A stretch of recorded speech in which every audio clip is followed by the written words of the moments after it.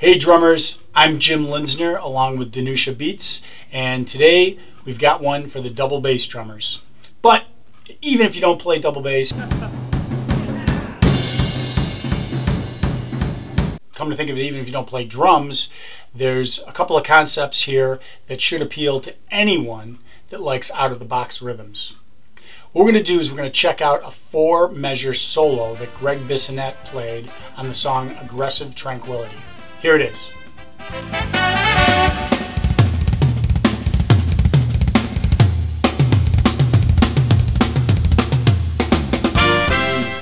Kind of mind bender, right? Okay, well, it's just two licks. And the first lick is just a six note pattern that repeats over and over again. Right, left, left, bass, bass, bass. Okay? Right, left, left, bass, bass, bass. Right, left, left, bass, bass, bass. Now, as far as the feet go, um, I like to play right, left, right, but some drummers prefer right, right, left. As a matter of fact, I think that's what Gregg Bissonette prefers from watching some of his videos. Uh, really doesn't matter what footing you use, so long as all the notes are even both rhythmically and dynamically. What I suggest you do is play this very slowly at first and gradually speed it up. Here's an example.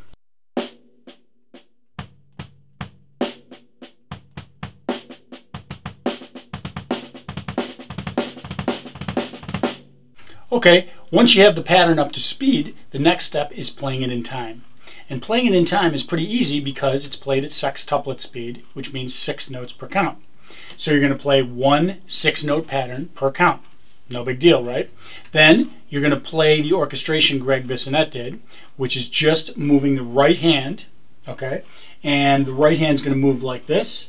One, two, three, one, two, three, one, two snare drum, floor tom, small tom, snare drum, floor tom, small tom, snare drum, floor tom. Okay, I'll play it right now, a little bit slower, and then up to tempo.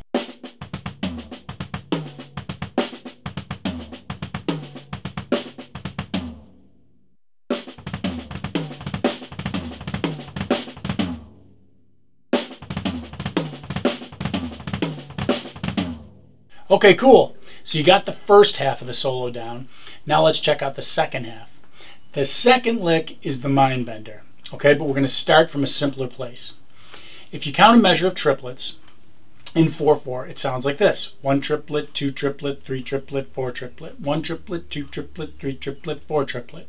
Or one, two, three, one, two, three, one, two, three, one, two, three. It's four groups of three. It's 12 notes total, okay? It's possible to group those notes in other ways. So what we're going to do is we're going to play three groups of four notes, okay? And our four note grouping is going to be snare drum, small tom, floor tom, bass drum, okay? So let's do a two measure exercise. And the two measure exercise is going to be this. One measure of triplets just on the snare drum, and then playing our new four note group three times. Okay, so it's a two measure exercise and it's always the same speed. And it's imperative that you count this in your mind throughout. One triplet, two triplet, three triplet, four triplet. Because our brains hear four note patterns as one eana, two eana, and it's very easy to get tricked into thinking you're playing one eana, two eana. Okay, so really count in your head one triplet, two triplet, three triplet, four triplet, one triplet, two triplet, three triplet, four triplet. Here it is.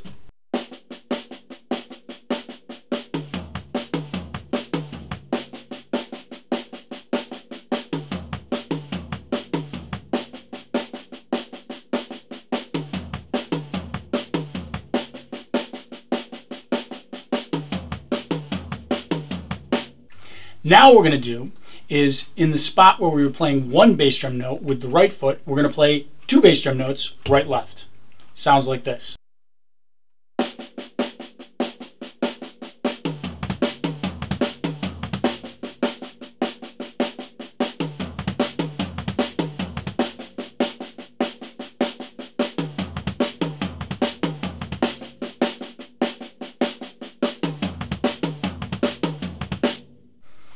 Finally, we're going to do it the way Gregg Bissonette did. And that is, in the spot where there was one bass drum note, now there's going to be three bass drum notes. Okay? And if you wanted to practice this a little out of time first, you could play it like this. One, two, three, four triplet. One, two, three, four triplet. Once you're comfortable with the pattern, then apply it to our two measure exercise. Here it is.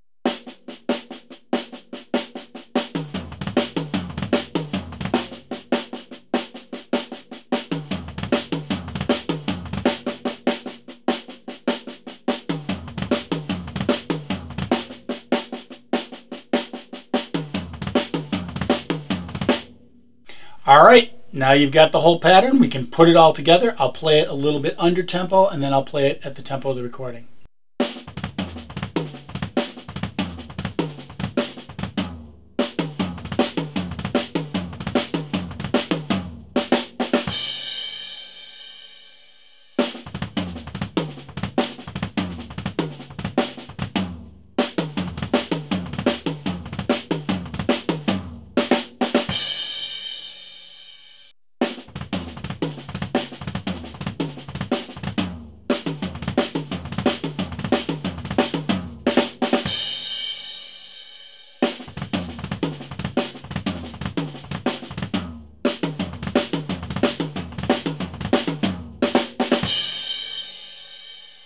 So that right there is my favorite Gregg Bissonette double bass lick.